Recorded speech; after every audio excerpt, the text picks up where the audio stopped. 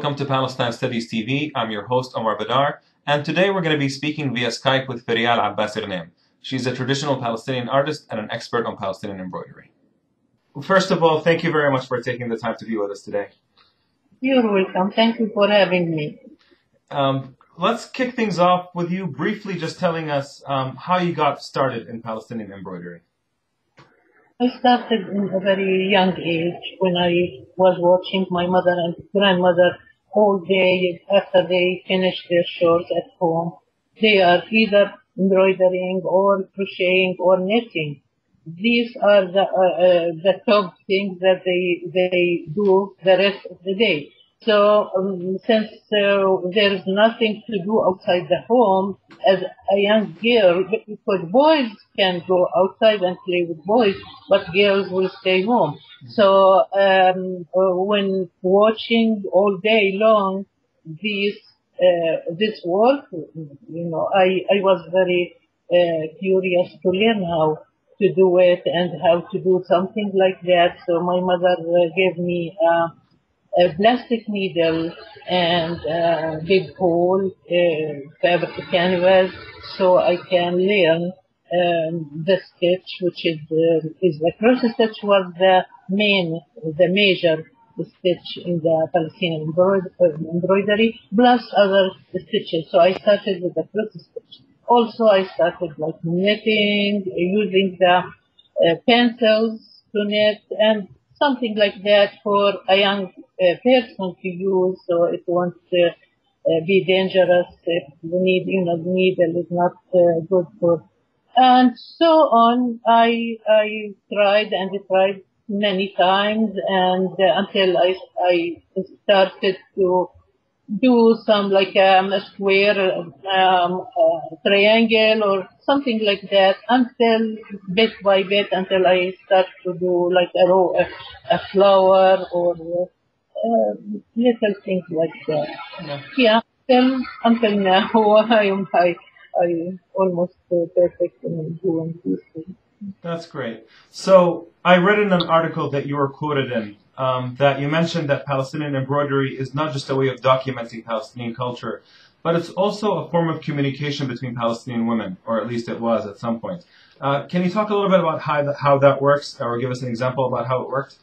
Yes, um, uh, Palestinian embroidery, it's not just as everybody sees it, it's pretty, and everybody will, when they say, oh wow, it looks so pretty, it, it's rich, it's for, like, it's uh, all over the dress and uh, so everybody is asking how, how the Palestinian woman can do all the, this work and just they think that it's for the beauty of it.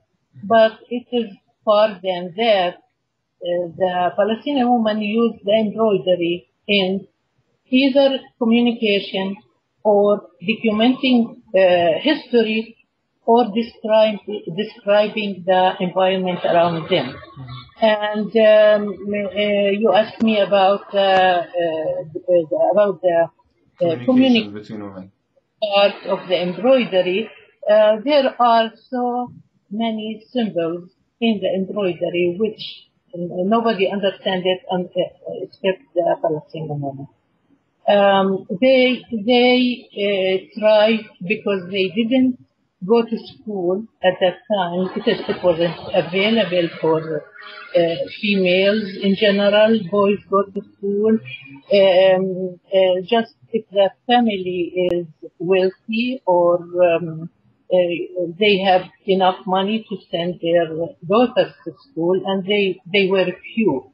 But um, every person in the world, either male or female, they have talents and these talents, it doesn't, uh, it doesn't just limited for those who go to school. Uh, women have talent, and she didn't go to school, but she wanted to express her talent. She expressed that on the embroidery. Mm-hmm. They sent, like, if if uh, if a woman wanted to know um, um, anything, any or ask any question, another woman in another village, she can send her with somebody a piece of embroidery, and that woman would look at it and understand what what's in it. And Wow. I have an example, so we don't, uh, you know, make the story long. I have an example that uh, once my grandmother wanted to communicate with her friend in another coun- in another uh, village, my grandfather, my grandfather used to have uh, several, um, in like three or four uh, villages around Safad, uh, um, olive bress- uh. Yeah. Uh, they they do uh, olive oil there, and he used to go from one village to another to check on the uh, on the workers there if they need anything, how they are doing or something. So one day he he was going to a village where my grandmother has a friend there in the other village, and. Uh, so she was she was uh, curious. She wanted to know some news from her uh, friend in the other country, in the other village. So she she hesitated because she cannot tell her my grandfather to ask her how is your uh, daughter-in-law as example how how are you doing with your daughter-in-law but she thought uh, uh, like a smart idea and she said okay i'll do something without his knowledge because he will refuse to ask that question to the it's like women's issues. It's not like men don't uh, like these details or to talk with women those details. Yeah. so so she spent like a few like a couple nights uh, working on a piece of embroidery and that piece is like a, a, a pillowcase as example a pillowcase and it it just looked like this uh, she used she used um, uh, a pattern which called uh, uh, among the Palestinian women the birds. hmm Looks very beautiful, by the way. Yeah. So uh, this usually all the patterns are like portions, and we repeat the portion um, like uh, here the birds are facing each other, Mhm. here back to back. Then we go facing each other, then back to back. Yeah. All the on the pattern on the dress. So she embroidered two portions here and um, as uh, a gift for the other women in Mahmoud in the other in the other village. Mhm. And she just sold it and asked my grandfather to take it as a gift to uh, to her friend. He, of course, he didn't know what what's going on. He just put it in his pocket Yeah. and just went there. As soon as he arrived, he just took it from his pocket and and told Mahmoud that this, uh, this here Muhammad and you um, this uh, gift. So she said, well, why- why did she trouble herself and she's busy, she has kids and things. He said, she just, she sent it to you. She took it inside, opened it, she looked at it, she understood that she wanted to know about her um, uh, daughter-in-law, whether they are, because they used to live in one uh, house. Usually they live in one house unless there's some trouble, so they separate in another house. So uh, she knew that she is asking there, are you um, happy with your daughter-in-law? You are still living in the same house, or you, know something happened? yeah. and Some trouble or something. Yeah. So that woman understood exactly what my grandmother wanted to know. So she she just uh, uh, spent like a night embroidering one part or one portion of this uh, uh, of this pattern and sent it to my grandmother. It was uh, this portion which back to back pairs, which means that no, we we are not living with each other anymore. Yeah. So just my my grandfather stayed there three nights. Then he went back home. He took the the other uh, the this part with him without knowing, of course, what's going on. That there's And- communication. That's very interesting. He didn't, and he didn't know, mm, you know, he, he passed away, he didn't know. My mother, my grandmother also, uh, she, she stayed like, uh, she's very afraid of him because he's tough and uh, he doesn't like that. So she, Yeah. all, when she tells anybody, she just whispers. she just whispers because as if he was dead, you know Yeah. and stay whispering because she's afraid of him. So this is one kind of embroidery. There, there are uh, symbols like if they want to know if uh, somebody is pregnant or not, hmm or they use like a tree with uh, with some fruit on it to know if if that woman is pregnant or not, because these are the issues that live with the woman at that time in Yeah. the past. Uh, just marriage, pregnancy, um, like uh, delivering a child. These are the most Yeah. Social family issues, more or less. So So essentially, it's a language. I mean, you can you can more or less describe embroidery as a language. Yes, I called the, uh, the Palestinian embroidery, it is unwritten language, uh, or un- unwritten and unspoken language transferred between women and women in silence.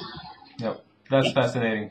Yeah. So, So, there are several kinds of, uh, of stories that uh, also under the, uh, if we say unwritten, un, uh, unspoken uh, in language, it's like when women uh, during the um, uh, British mandatory on Palestine, how they demonstrated the um, uh, the uh, intro- uh, the weapon the weapons that uh, the British introduced to Palestine. And after men, like men demonstrated, like uh, they go demonstrate, but it, it didn't work because some of them were arrested, some were killed. So women uh, use her own method in demonstration, in demonstrating uh, these issues, but silently mhm. silent. So they they embroidered on their dresses uh, how the uh, the weapons make destruction around them. But Yeah. you go further, there is um, peace, which uh, they the symbol was like a flower. These are the peace. But the destruction, the symbol was upside down the trees around them. So it means that these make destruction. But this was in silence, of course, and they documented on the on the dresses. They document many things which they cannot say them, but Yeah. they just embroider embroider. That is absolutely incredible. Um, I'm curious, uh, what is the reception has been like here in the United States? I know that part of what you do is you give workshops at American educational institutions, colleges, and universities. Uh, when you give you know, uh, workshops, what is the reception that you get from people? Yeah, it is very, very good reception. They love to learn about the Palestinians, about the Palestinian embroidery. It is the human side of the Palestinians. And all those like uh, rumors or uh, uh, what they hear about Palestinians, they are just the terrorists, they are just want to kill, they want to now they they told me that they have different uh, totally different idea about the Palestinians. They know that they're Palestinian, they have they have uh, history, they have culture, they have civilization. Those are made by men, uh, by women, I mean. Uh, and um, women at that time, she didn't even know how to write or read, but she was documenting history. So they loved that so much and uh, many and always I, I am invited to talk about the Palestinian embroidery, about the stories behind the Palestinian embroidery. Everybody is very um, uh, curious to know what, what is the Palestinian woman doing. Yeah. Change, it changed a lot. in in um, here in America. Yeah. What about the reception from um, Arab Americans or Palestinians in the U.S.? Um, is it similar, or like is there a contrast that you notice? Um, I don't notice any like change, and sometimes they, they, they, I don't know, they, they judge it that um, it's an old thing, old-fashioned thing, and people now reach the moon, and we are still talking about the embroidery, but they don't know that it is the human side of our people that we cannot we cannot enter the heart of of the like American, as example, or in any other country more than the Arab countries. They don't accept the language of violence. They accept a hundred percent the language of humanity. And this is our side that we must show to to the other people to know who we are here. Yeah. Yeah. So- I, uh, yeah, they accepted so much. Yeah. Um, you described embroidery as an endangered art. Um, I'm curious if you think the reasons behind that are what you just mentioned, this idea that you know people are just not interested in something that seems so old, or whether you feel that the political situation might have had some impact as well, given the fact that Palestine is under occupation. There are many refugees scattered across the world. Do you think that has played a role as well in people not picking up on the importance of this? It is mixed. It is mixed. Both are very important in a very important factor. Like first of all, the political uh, situation, the diaspora, and when people like uh, uh, divided or people went spread all over the world, almost every country in the world they have Palestinians. So um, Palestinians, you know, they live they live different different lives. First of all, now the Palestinian women go to school, uh, they go to college, uh, they work, so and at the same time they they have a family to take care of. Yeah. They have no time. Most of them they have no time. Most of them they wish they have time to learn this. Also they wish that they find somebody to just teach them because generation after generation it will fade, you know. Yeah. Um, I am saying that just uh, about us in in the exile, that we live in foreign countries. Yeah. It is still going in the West Bank, and they are doing a very very good job uh, in uh, demonstrating the embroidery, teaching the girls the embroidery. But because of those millions outside, they they are not practicing the embroidery. embroidery. That's why we uh, I said that it is uh, endangered. Yeah. I sometimes I witness some people, not Palestinian, but claiming that this is their culture, which make me feel so bad that uh, we have to do much more about our culture to Yeah. save. A Yeah. British art to preserve it for sure. Yeah. Um, I have one more question for you. Um, I'm curious with American audiences uh, when when you present this issue to them. Do they know where Palestine is? I mean, do they are they drawn to this because they're familiar with Palestine already, or does this become a gateway into introduction to Palestine? Okay. Uh, there are two kinds of uh, audience that I I uh, you know introduce this subject to them. The old people they know they know uh, about Palestine. They know some political things about Palestine. They have some history information. They don't ask me where is Palestine or from where you came because they have in mind, you know, background uh, about Palestine. Mhm.